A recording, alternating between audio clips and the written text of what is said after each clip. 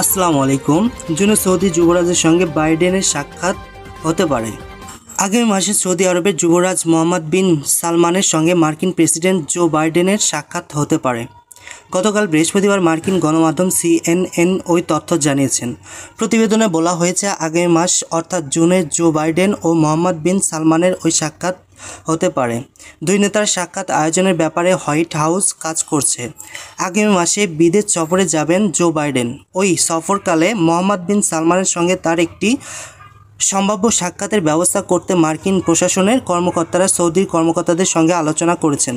Saudi আরবের রাজধানী রিয়াদের জিসিসির বৈঠকের মধ্যে মোহাম্মদ বিন সালমানের সঙ্গে জো বাইডেনের সাক্ষাৎ হতে পারে।